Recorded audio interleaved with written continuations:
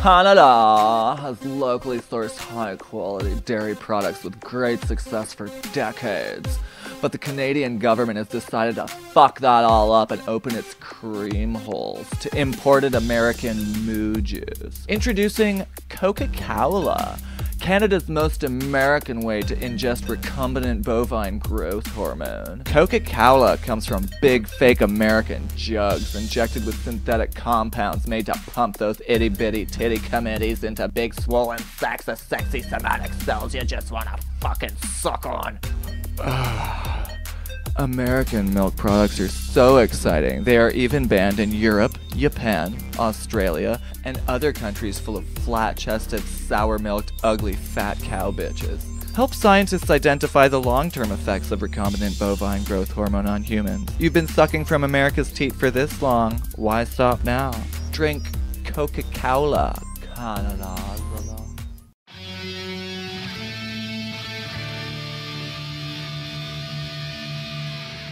Hello and welcome to Glorious and Free. I'm Bryan O'Gorman, and uh, this is my friend Danish Anwar, Hello. everybody. Welcome to Danish. Hey, Thanks hello. for coming, man. Good to be here. And uh, so everybody knows Dinesh is a great comedian in Toronto and uh, also owns and runs the uh, show Your Hood's a Joke, right? Yeah, yeah. Can you tell us a bit about your show? Uh, yeah, sure. a little So- bit about the show?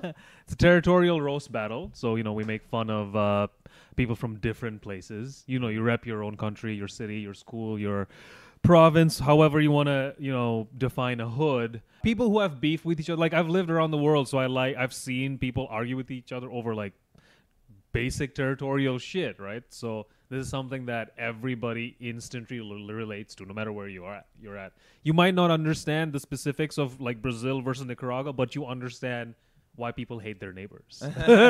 It's like, yeah, I get it. Same problem with Hamilton. So, Yeah. so that's that's Everybody only- has a Shelbyville. That's everybody's exactly. think. Everybody's got a Scarborough. yeah, a place next to them where they're like, yeah, No. you know.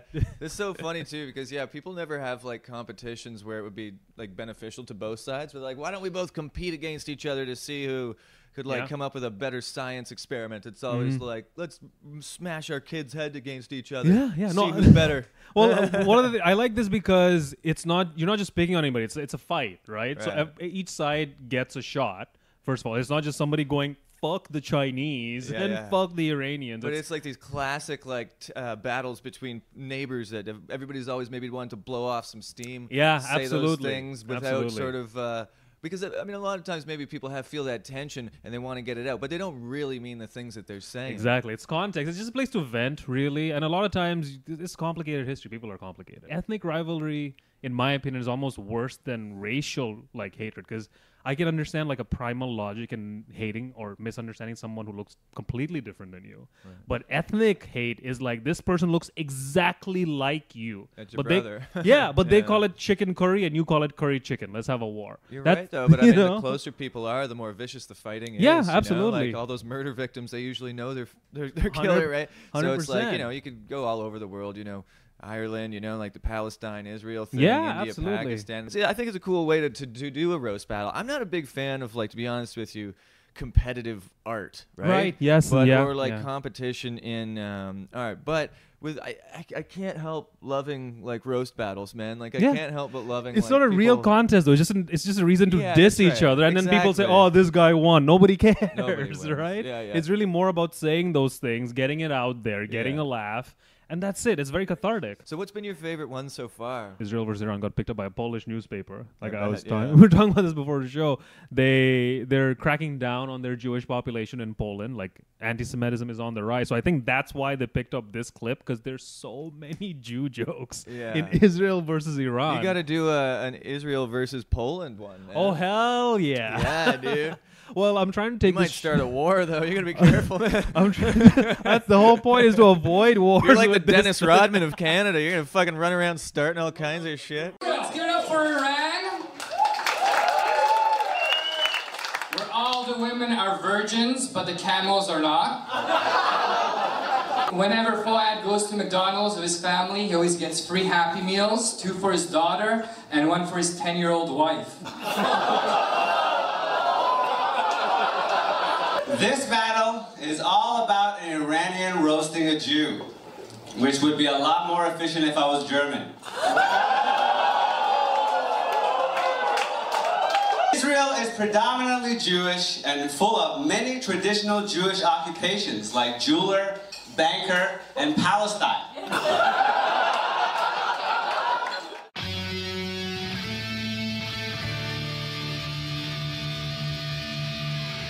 And now it's time for everyone in Europe's favorite segment, Endangered Allies, where we talk directly to endangered species all over the world and ask them how the fuck they're doing. Today, we'll be talking to the Royal Bengal Tiger. Royal Bengal Tiger, are you there? I'm right here. Hey, So, how's it going out there, man? It's good, a little wet. Climate change is a bitch. Cool. And where are you located right now, sir? Uh, Bangladesh. Oh, the old Bang Bang. Yeah, there's these mangrove forests, but they're turning into swamps, and that's not cool. Oh my god. What do you eat in those areas? Well, ideally everything. I kind of like being an apex predator, but I think I'm gonna be second place to a shark now. I've always kind of thought of you as like a land shark with fur. That's, I thought of myself as a land shark with fur. Thank you. You're welcome. Finally, somebody said it. I man, I'm just glad I can acknowledge you. But yeah, man, are you, are you? They call you the Royal Bengal Tiger. What's the reason for that? Are you some kind of king or lord or emperor or something? I think some of that has to do with fear, but also I've got a really cool like stripe pattern, and I'm generally pretty awesome. So I think it's fair to call me a royal Bengal tiger. Yeah, fair enough. And you've got your face all over everything. You've got your face on cereals. You've got your face on football teams. Do you get any royalties for that or what? Ah, royalties. you know, brand recognition is everything. I feel like once you get into the NFL, uh, you should start seeing some checks any day now. Um, it, it's kind of hard because I don't have a post office or Is there anything that humans can do to help you survive the next hundred years so that we can still see you and watch you kill uh, humans on nature documentaries? If, if they if they could stop with uh, you know the rising uh, water levels, that'd be great. But it would also help if they just assembled in a neat line uh, for my consumption. That would be cool too. Okay. Well, I mean that's fair. Some kind of uh, conveyor belt that goes directly into your mouth with small you know, woodland if there animals. was an app like Uber Eats, that'd be cool too. Oh yeah, yeah, yeah. Just, just bring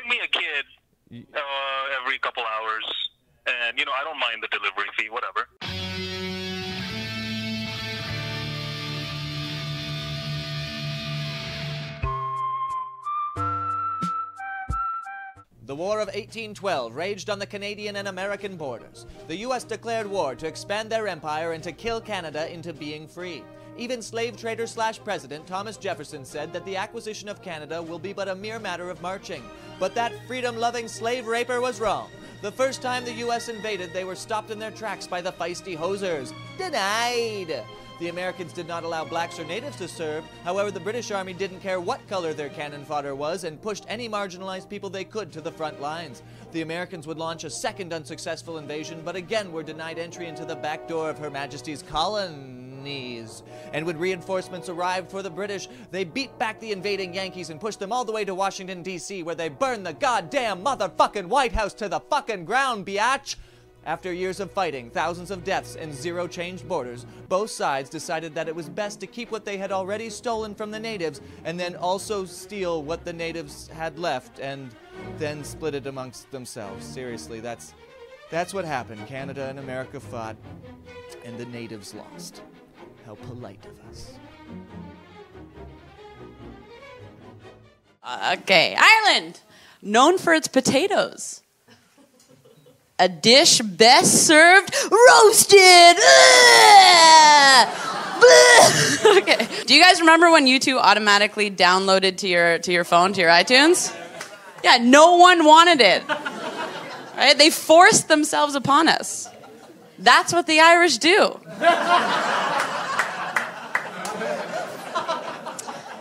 I wonder which priest they learned that from.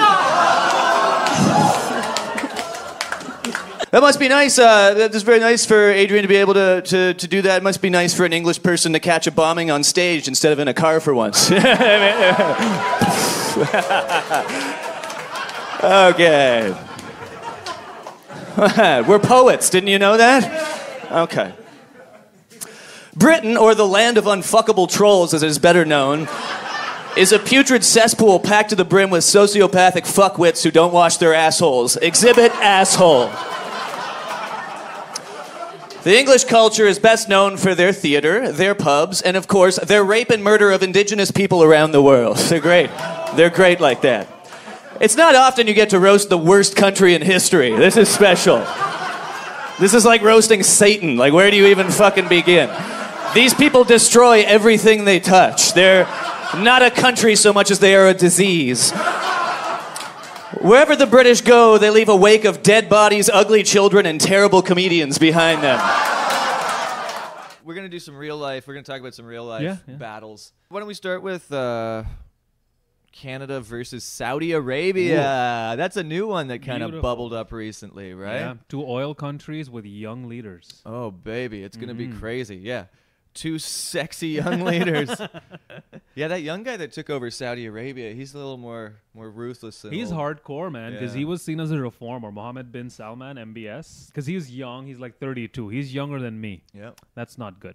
No. You should not have the reins to a country that brutal. It's still an absolute monarchy.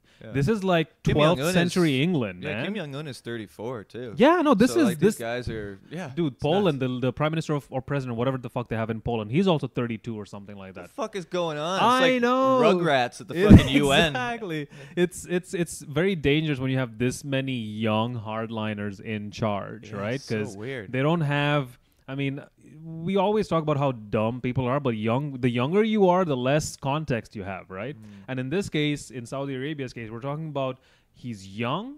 He's rich and he has absolute power, right? It's not that far removed from Justin Trudeau, who's young and rich, doesn't have absolute power, but he doesn't hasn't really felt the absence of power in his whole life, right? He's a he's a dynasty essentially. He is, but he was also elected. Yeah, true. That's a. I guess I'm. So I'm I, I guess it's there. not like a direct comparison, but Yeah. more in he there. didn't like murder his uncle to become no, he did prime not minister. murder his uncle. No, he did not. But I just fi- not. I find that um, reliance on that kind of like inexperience Mm-hmm. Uh, has become a problem worldwide. Where like the lack of experience is seen as oh, this is why this person should be in charge of a country because they've never done this shit before. Doug Ford, Trump, Trudeau, MBS, uh, the guy in Turkey, the guy in Poland. The new guy in Australia who almost unseated their prime minister. There's this resurgence of we don't like the elite and there's a big there's a lot to be said about that about like you know people in, with power and money controlling the direction of everybody on the planet Sure. right but you don't want a plumber to be an astronaut so I th- you don't want you know No, like guys like got- this but to that's be the leaders mentality that people have, right? Is sort of like, I just want the prime minister or the president or the leader to be like the guy I know down the street. Well, That that, that's guy not. is- You can't have that guy as a president. He needs to be an extremely elite thinker. He's got to be super high level intelligence. He's got to be not be able to be pushed around. Somebody Mm-hmm. who's you know uh, assertive and compassionate and all these things. Like a leader of, of people is uh, someone that needs to be held to an extremely yeah high standard. not not not your dr- beer drinking buddy I'm sure Joe's gonna say that regular shit that America's racist. Oh, America's racist. Yeah, says the country who's never had a black president. So.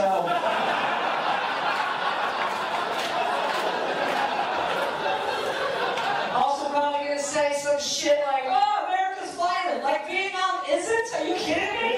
In America, we have a saying, all right? Guns don't kill people. Vietnamese drivers do, all right? Sam Martin, everyone, it's always great when you put a face to racism, right? the United States debt per person is $54,000. America is quickly becoming the poorest, most violent country in the world. Watch your back, Brazil!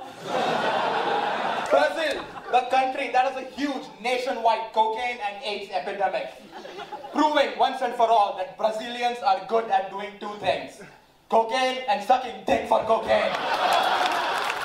I'm going to start roasting India right now. Somebody gonna get a hurt of you, baby! but India is a, is a very old culture, right, guys? It's about uh, 4,000 years of rape culture. Yoga, comes from India. Um, they created yoga from bending over backwards for the British. India was different. That was like a domestic violence situation. So literally, me, my mom, and my brother ran away from home under false names. Four day dr- journey seeking safety in Bangladesh. From your from somebody in your family or from just my crazy people? biological father. Oh wow. Yeah, we couldn't live with him anymore. So we had to run away under different names, cross a border. We're on the road for like four days in India. So that's not an easy thing to do either. So we were like basically. How many kids were with your mom and no, just old- me and my brother. I was 10. He was six, I guess, and my mom would have been in her 30s, early 40s. I don't. I'm And you get on a exactly sure. plane to come to Canada, or how'd you get over? Oh, that though. Canada, we came like legally as legal immigrants after living in Bangladesh for a few years. My mom got remarried, and we came here uh, Oh, like okay. through normal channels. But like even in Bangladesh, because we arrived as refugees essentially. Uh, my mom had these two mixed kids in tow. She's a single mother. Yeah. This is a moderately Islamic country, and we lived well, not in a slum, but I call it slum adjacent. so we lived in the neighborhood next to a slum because there's like levels of poverty in South Asia, right? And we're like one rung from the bottom, Right. Right. I think the place we lived in was not much bigger than this, and we l- shared it with three families. So three families, Wow, right? So that's I'm talking about a whole different level of existence there. It's a lot right? of different smelling farts in one. Hell room. yeah, hell yeah. So then, no, when we came here as legal immigrants, that's a whole different story and whatnot. But the reasons for people leaving, You have a really cool origin story, you have like Yeah. a, you have like a X Men origin story. yeah, yeah. Well, um, uh, I guess I'm a little meaner because of that I too. don't Because think you're mean at all. I think it makes you more understanding and, and empathetic towards people around the world the more that you travel and when you've been in tougher situations. Like people that I can't. It's so obvious when you talk to somebody and they've never been in a hard situation in their life or they've Mhm. never like been. Oh, you can see that a mile Yeah, it's so nuts. You've counted with all people. You've talked to people that are poor. You can talk to people that are rich. You can talk to Right, right. everybody. You know that's an important skill to have. And if you've Mhm. never been on both sides of that, if you're like, ew, it's dirty here. Yeah, cars yeah, are old yeah. in this neighborhood. I'm like. I got no fucking time for you. well, yeah, that's what I that's what I tell people here when they're like, "How do you deal with the racism?" I'm like, "Listen, I've dealt with much worse. This is Yeah, actually. man. I mean, I know it sucks it for you to exists. hear who live here, but I Yeah. can tell that things can get worse. Not that this is an excuse for things not to be better here. This isn't past the finish Yeah, line. this in is- this Canada. is That's not what even- everybody yeah. thinks. Nobody in the world is past the finish line. It's Mhm, something that's mhm. always going to exist and stuff. But fuck, man, comparatively, I've been to some fucking places, man, and uh, Yeah. in the, these cities in this country, uh, we have relative sort of peace. People get on t- with each other. People get I on really to, like a- to what I, in my experience and in my opinion only, would consider a reasonable degree of getting along. Yeah, I you mean, know, like you're gonna have this is the most multicultural city on earth. Yeah. fifty-two percent of the people in Toronto are not from Canada. So Mhm. the idea that we have less than hundred murders a year in the fourth most populated city in North America, It's a miracle. It's a fucking, It's it's, unreal. fucking It's unheard of. People are like, oh, the guns in this fucking city. I'm like, what the fuck are you talking about? Like you Mhm. have. Uh, what is it? Seven million people in the GTA or something. I forget what the population is, but I know the order goes: uh, Mexico City, the biggest one in North America, Yeah. and then it's like 30 million. It's the whole. Yeah. It's so crazy. And then it goes New York, L.A., Toronto, Chicago. Mhm. So it's like this massive city. But then if you compare it to like the violence in Chicago, which is the most comparable like Yeah. numbers, it's like, dude, it's it's not, even close. It's not even close. I mean, Let's look at all those cities: Mexico City, Mexico LA, has a kidnapping issue. you can Dude, get you kidding? kidnapped like that in yeah, Mexico we don't City. have like the fucking Bloods and the Crips having gang wars up here and all that I mean, kind of shit. th- there's obviously like a shooting a day is considered news in Toronto, and that's Yeah. what's been happening for about what a few weeks now. Yeah, it's getting a little Um, weird. it is getting weird. It is. But I mean, to us, that that level is laughable to most places on Earth. Mhm. Like, I mean, especially outside of North America. I when we talk about like shootings, like just from having lived in Bangladesh, like again, not a basis for comparison. Like Canada should not aspire to be like that, No, but you- we're talking about a place that right now is shooting at people for protesting. Right. The in- institution. When I was there, uh, at one point there was martial law. If three or more males were out at after 7 p.m., you could be arrested. There was some kind. I don't even remember what was going. on. I was in high school Because you might be starting a gang or like something like there was something. I remember being pulled aside because me and two of my buddies were going home after like something. I don't even remember. Like a whole crew of cops pointing their guns at us, being like, "Here you go, let's see." And we're like, "Oh shit!" How old were you? I was maybe 16. Jesus Christ. What I loved about that encounter was one of my buddies was one of those guys who supported the government's martial law. He was one of those dudes like, no, if they're, the government's doing it, it must be right. They're only going to go after the criminals. And he was the one mouthing off the most to these cops. And he fucking got, he got pummeled. I, I, I love this memory that They I just have. beat the shit out of They him? beat the shit out of because we used to tell him, man, you can't be like you're a bootlicker. You think that they're only going to go after people you don't like? people in power only look out for themselves. Yeah. Right? They're using your vote and your support to empower themselves. And when the time comes, they will squash you the way they squash me, the way they squash anybody you yeah, don't they like. think it's like they're part of the team. It's like It's you're not part of the team, exactly. Uh, yeah, no, he he he got like fucking he- like butted in the head with a pistol. He, he had like we're talking about third world cops. Man. You must really not- hate this guy. The joy that's coming out of I- your I remember this so clear. They smashed his head with a fucking rock. in the street. It was great. No, no, dude, he needed to learn his lesson. This guy was a prick and a half. He was he was the kid who would rat you out to a teacher. You, You know, know, what I mean? Danish, So- I think I believe in violence in small scales Mhm, sometimes. Like I mhm. think I don't believe in war. I don't believe in like violence against people who are uh, you can't defend themselves. But um, sometimes some motherfuckers need to get smacked. Yeah, 100%. Like like that situation where he's 100%. like, "Ah, "Fuck you, you piece of crap," or whatever, to a, somebody pointing a gun at him. It's like, man, you're lucky you got punched. Dude, there were like I don't even know how many squads that had stopped us. Like it was like a major intersection, and there were like multiple cop cars. They were just waiting to see three guys, and they saw three high schoolers, and like literally all their guns. I think like easily two. Well, actually, about twelve or thirteen at least. Like just people in a line in an arc. I remember because we were trying to make a turn, and they're like, "No, you're not. Here you go." And our the uh, is an auto rickshaw. So like, if you were in the army in Bangladesh, would you live a decent life relative to the average person? Yeah, yeah. The army area. I mean, I don't know how it is now, but the army area of the, the army part of town was considered like the nice part of town. Right. If there were unmarried couples on the street, they would punish them or humiliate them by maybe shaving your head right there on the street, and they could do that to you if you were. Did you see that happen? No, but it happened to my friend. Like Wow. several friends actually, like Wow. guys and girls. Like they were like, you know, that particular soldier just was ultra conservative, and he's like, you know what? I don't like the fact that like, are you two married? No. Okay, well, get out here. What You're- religion was it? Mostly well, Bangladesh. Bangladesh is mus- uh, Muslim, Oh, mostly okay, Islamic, yeah. and it was, and that this was when it was moderate. Now things are going far more conservative. That was moderate. The head That was days. fucking moderate. Back The- in the good old head again, shaving a- days. Again, think about it this way: that was still considered, oh, the army is going too far, because people, it was okay for you and your girlfriend to be out in public, Hmm. maybe not hold hands, maybe not kiss, but it was still okay. People would still give you looks, but it was okay. But then, for whatever reason, for a few months, the army was in charge, and they're like, you know what? We don't like that. Hmm. So out here, if some, if the cops stopped you. And shaved your head because they didn't like your tattoos. Oh, they'd be in jail. Dude. Yeah, yeah. It'd be Imagine. national news. But overnight. th- out there, you don't even think that that is something you can fight. Right. You know, you're gonna get beat up on the street That's unless, again, you're one of the 0.01 percent who's rich Mm. and connected. or like in the army or whatever. Something right? like that. That's a very small part part of it. So that that that kind of uh, ideology or that kind of sorry of uh, outlook on life exists in Russia as well, and it helps people like Putin. That's why there's so many strong men in charge of countries like that. It's at the end of the day, he's a representative of yours. He's not necessarily Right. doing something for and you. And that's why, like, I mean, we like to shit on the holes in democracy and stuff like that, but the uh, the ability to just speak freely and have open It's discourse is so huge, fucking important, and it's such a small part of the world where it's protected and it's it's celebrated. It right? really is a very small part of the world. Yeah, and Yeah. I mean, like, sort of people. There's some things about um, culture, uh, European culture, that drives everybody nuts. It sucks. You know what I mean? Mhm. There's a lot of shit that, that sucks about it. There's the imperialism and all the history of it's all fucked up. But there are some good things that